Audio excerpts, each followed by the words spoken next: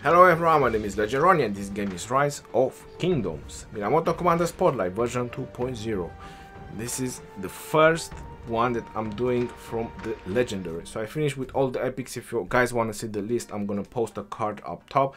All you have to do is scroll down the list and see all the Commander version 2.0 that I have done. It's been more than a year since I have done their Spotlight, so they definitely deserve a review in one year a lot of things could have happened and obviously a lot of game time has passed through. More experience we gained using these commanders. Right yo let's go straight into the business. First thing first about legendary this is very very important. Stars are at a premium cost. You definitely want to know how much it's gonna cost to six star a legendary it's no joke. I'm telling you it's no joke. And then you also want to know about the sculptures 690 sculptures but something more important that i need to mention about minamoto is that he is a vip commander. That means that the only way to obtain minamoto is from the special privileges. Vip 0 or vip 1 up to vip 9 you pretty much need to buy all of them and that gives you 690 sculptures to max his skill. It's gonna cost you an overall of 200 bucks. But if you want to go econ economy way with Minamoto as long as you max his primary and his sec secondary skill that's the most economic way I would go with Minamoto. And players have told me that that costs you only about 20 bucks. So you can have a pretty worthy legendary early game into the kingdom probably later on will still be effective because his primary skill is pretty dope. But if you're planning for the long run and you're still like a very low spender i was i would actually suggest saving up money and just maxing out his skill. Make sure you have a maxed out legendary. Is definitely worth it. That 25% chances will actually proc and his additional damage is pretty significant. 600 times 2 so I would definitely go for that extra 25% chances. Right yo, couple more important things about legendaries is that equipment only applies from the primary commander, so make sure if Minamoto is gonna be your primary commander, he has the right equipment. Talents only apply from the primary commander, so make sure you have the correct talents or you have the correct commander primary with the correct equipment. This can actually give you a high advantage. Also, keeping any commander at one star and maxing their primary skill usually is the most important part on kinda any legendaries. The primary skill is their important skill. You wanna first max out that. His second skill, Cav Attack and March Speed bonus, that's pretty significant, especially ver early game into the kingdom, where when March Speed is not so accessible anywhere else, damage, March Speed and attack, that's pretty much what helps you win the field battles. Barbarian damage and you're probably wondering why do I need the last two skills does it actually worth it $180 or what how much is gonna cost you to buy the other privileged chests so you can uh, pretty much max your Minamoto. It does worth it. Minamoto has a lot more utilities than you can actually think about. And Warlord which increase the damage taken by the target by 30% this is also very very good. Even that it can only trigger every 5 seconds is still 30% if you have this skill at 1 it's only 10% that's quite a significance. Right let's go into his talents and then we can talk about his pairings. Because oh boy he has a lot of pairings definitely. He's pretty universal. Might sound very very hard for you but he is. He has a lot of utilities. His one commander which um at some point i had seven talent builds for minamoto but i have tuned that down to like one or two. In the end i stopped using the other ones and let's just go and let's talk. So this is his field battle talent build that I have right now. Especially if you're using him with Pelagius or especially if you're using him with double C commanders that have rage restoration. I definitely recommend this talent build, this part of the skill or this part of cavalry. Now if you're early in the kingdom, if you're at the middle of the king, the beginning of the kingdom, I do apologize, until the middle of the kingdom, I highly recommend going for the feral nature. Especially if you're low tech, even if you're in the late game or in the end game, late game, not end game. I still recommend feral nature if you don't have the technology to actually have maximum boost stats on your troops. You definitely want feral nature so you can pop those skills as fast as possible or as often as possible. And for that, you need to drop Disarm, Undying Fury, Attack, and 2 points in Dragon Spear. And at that point, Dragon Spear is not going to be worth it, and you can put 1 point in health. Pretty much the same way is Genghis Khan build done. So that's the talent build that I would recommend for low technology or early game into the kingdom. If you're probably wondering, disarms is probably sounding a little bit useless for you. 20% attack when you have double C, you have Attila, you have Aethelflaed now, and what else Belisarius or who, which, how many other commanders there are that reduce attack, even Constantine. Why does it work to have disarm? Well, I tell you from, I tell you right now, a very important information is that disarm actually goes with those skill. So it's this disarm, this time that actually reduce attack, it actually works with those skills. So let's say you have Attila who's reducing attack of the target by 50%, disarm work hand in hand with that. I'm not saying that it's gonna proc in the same time when it's gonna go in, but if you have that 10% chance and they go in in the same time, they actually stack. Or at least last time I checked the battle log, they do go hand in hand. That means that you can get up to 70% attack or 60 or 50% attack reduction on the target. Just bear in mind one thing, you can never reduce someone's attack or defense to zero. That's not gonna happen. But still it works, so this is this might be something that you want to think about. Other modifications you can do to this talent build would definitely be for hitting objectives in the Lost Kingdom or Barbarian Force, which some people are asking.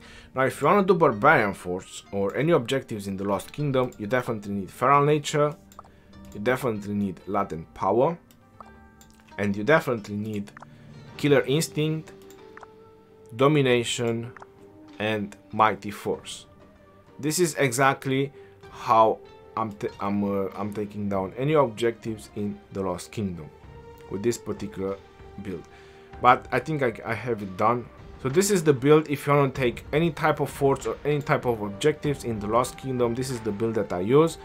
I literally used this build for two KVKs. So in two KVKs using Minamoto Genghis Khan or Minamoto Double C, I've taken down any kind of objectives in the KVK. Doesn't matter there were infantry in there, doesn't matter there were cavs or archers. This is the build, the talent build that I used and one rally and we took down everything in the KVK.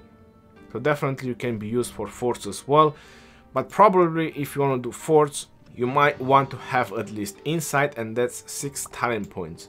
So for 6 talent points, you kinda need to drop some attack from this part. So you need to drop one, four, five, and one point from there, which is six. So you can get your insight. If you just care about doing barbarian forts.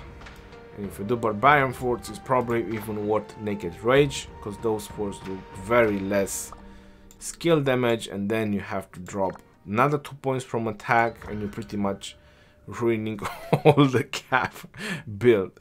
And one point from halberd i like it the way it works like that against barbarian forts and like i said against any objectives in the lost kingdom we take them down with a single rally. Going back to this build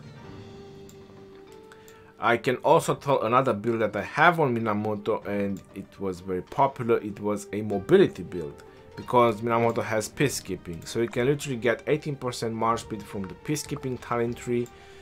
You can uh, actually get 6% march speed from here.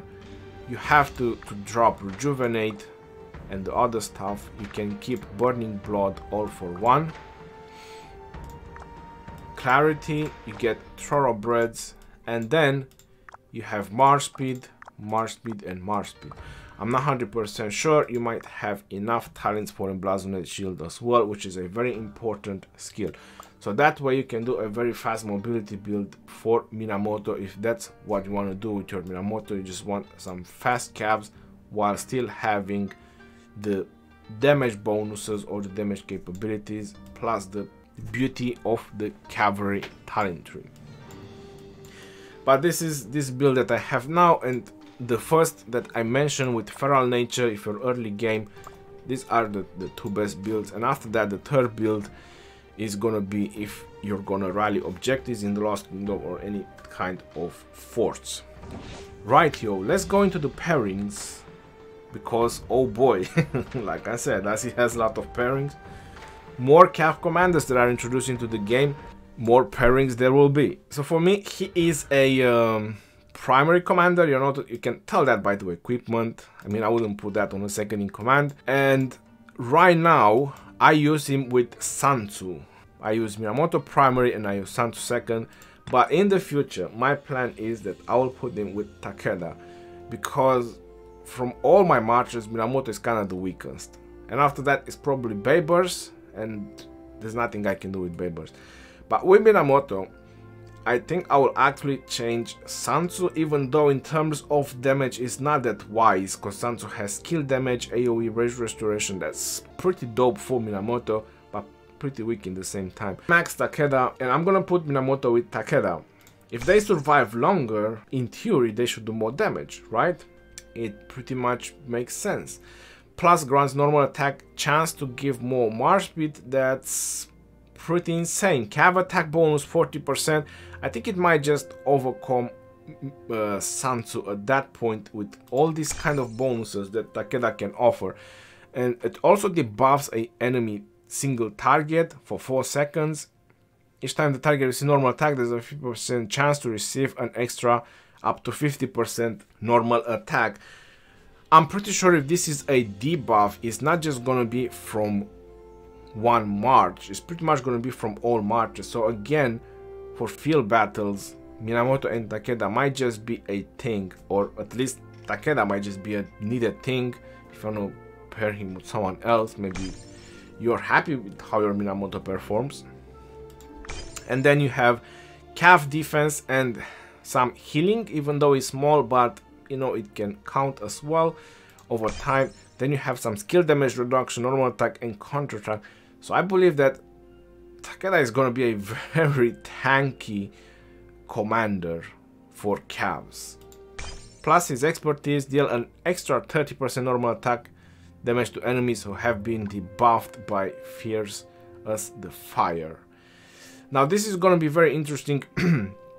Once he obtains his expertise, that is just automatically buff this to 80% or is just for the March 30% when I'm gonna manage to max him out or if someone manage because if this goes to 80% and that's for all the marches that's pretty OP.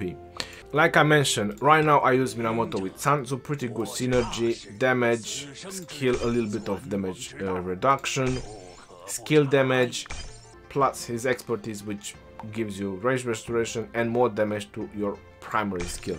Other pairs that you can do with Minamoto double C. If you're in the early games, you don't have Genghis, you don't have Saladin, you can definitely put Minamoto in double C and I highly understand if you're unhappy with how Minamoto in double C survivability is on the battlefield or how much they survive because they have no freaking defense. If you put Minamoto with double C, on top of the fact that you have no defense, if your double C is maxed out, it even decreases your defense because you're trading in for attack. So you literally have 55% plus 20%, 75% attack on caps just from the skills with these two commanders. But again, you're sacrificing because you don't have no defense. Actually, you have even less than you should. but again, they're very strong against pretty much anything. The skill is very, very powerful. And like I mentioned, the attack reduction from double C does stack with disarm. So that brings you to about 60% if they both go in the same time. Minamoto, like I mentioned, he has plenty of utilities with any cav marches you want to pair him. He definitely does good. Even with Scipio, if he's doing horrible in defenses, you might saying, what? Are you out of this world with Scipio? Well, if your Minamoto is just dying like a bomb in 5 seconds on the battlefield because your second in command is very weak, then you might just want to put someone like Scipio Africanus, so if they want to focus on Minamoto, let them keep pounding and Scipio will give you a little bit of protection that gives you more time for your other marches to deal some damage. But obviously, the logical choice would be to kind of put him with other skill damaging commanders like Genghis Khan, Saladin, Pelagius, Baybars. You can make combinations between them. A little bit Belisarius, nothing, nothing that crazy with Belisarius. Osman can also be a very viable option, probably even Boudica, but again, no defense. With Osman, with Boudica, with this type of commanders, you have, or even Baybars, you have no kind of defense. With Baybars, you kind of have mobility if you manage to get away, 50% march speed, and or with Belisarius, you kind of have mobility. But with commanders like Boudica or Osman, you have no defense. So if you get target, or with Genghis, if you get target, that's a kind of go. In terms of rally situation, this is an interesting rally that I have done it. Surprisingly, it works. Believe me, it's surprising. YSG primary with archers and with Minamoto second. But it, obviously, if you want to go with cav rally, Minamoto can definitely be used for cav rallies. He has as utilities. I've done my video about my top three expertise commanders. I'm just gonna talk a little bit. I can probably put a card about that if you want to see the whole video. Where is YSG is one of them. One of the top three is Richard, and after that is Genghis Khan. But I would actually put Minamoto as primary if he wouldn't be a pay-to-win commander. He's a pay-to-win commander. That's only way you can max out his skills by purchasing them from the shop. If you wouldn't be like that, then you could have maxed his skills with the universal sculptures, I would have put him primary. The reason being that, and as crazy as it sounds, he has more utility than YSG does, because any objectives in the Lost Kingdom can be taken with Minamoto leading, rallies, forts, so that also includes barbarians. You can rally any objectives with him, you can defend with him, using him as a second in command. He doesn't have any garrison, so obviously it makes sense you don't put him primary, you put him as a second. He has a very powerful nuke and a debuff, which are very powerful. If you're lacking options to defend your city or any kind of defenses, you can put Sun Tzu primary, Minamoto second against a single target. Trust me, they will do awesome. So yeah, but again, YSG, he's, I wouldn't say free to play, but can be maxed out by free to play players. He is the first one you should expertise. Again, Minamoto and Saladin also can work very very nice synergy, especially that Saladin can offer him the defense that he doesn't have. Skill damage taken reduction, counter attack and cav defense plus attack and a little bit of march speed. That's pretty pretty dope for just one skill, having all three of them, even though it's not some very very high numbers, but it's a little bit of all of them exactly what Cavs need. Minamoto can also be paired with uh, with Aethelflaed if you want to, even with Alexander. Even with Alexander, if you don't have, if you to do multiple Cav marches and you don't actually have with who to pair Alexander, you have a max skill Alexander, you want to benefit from this debuff. this is a very powerful debuff and not to mention his primary skill. And after that you have the huge nuking, which pretty much works with any kind of troops, even archers. There's nothing wrong. The only thing you will not benefit if you use Alexander on the battlefield is this one. You'll benefit from all four, so that brings him to a very universal commander as well. A lot, a lot of synergy and utilities for Minamoto. If you're struggling with him surviving, I mentioned you can put him with Scipio, but if you have a max skill Julius, you can also put him with a max skill Julius. 15% more troops, defense and stats to your troops and all damage increase that's pretty dope. Minamoto primary so you can benefit from the cav tree because I usually recommend using specific specialization commanders primary because of their trees. The leadership tree is more universal more for mix of troops which brings it to a very very weak tree. So the cav tree or archer or infantry they're kind of the three best tr talent trees that you can go with when trying to choose your primary commanders. Minamoto primary Julius second also works. Minamoto primary Mehmed second also works, but it's a glass cannon type of situation. Not highly hyped about it to be honest. So again, plenty of utilities for Minamoto and I have to also say that a very used March for rallies, as crazy as it sounds, was used with Barkal, primary for mix of troops in the early games and uh, Minamoto as a second in command. So Barca debuffing the target and Minamoto just doing the damage for for rallies, for rally specific. But again, this was for early games. Pretty much a lot of things work in the early game.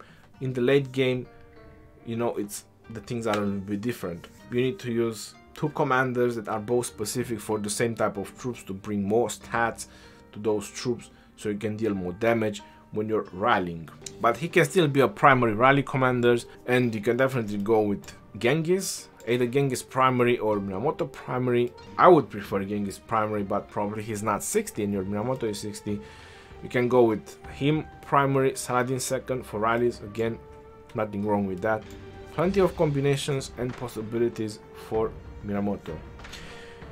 Also, a recommendation if your Pelagius is not busy, is Pelagius primary and Minamoto second. The reason being that I'm gonna post a card uh, is the reason I also try to pair, whenever I pair, I put Epics primary and as much as I can and Legendary second, rather than putting Legendary primary and Epic second. One exception would be Osman, because he doesn't have specific specialization. Talentry he has leadership. So he's definitely for a second in command. I hope i did talk quite a lot about minamoto.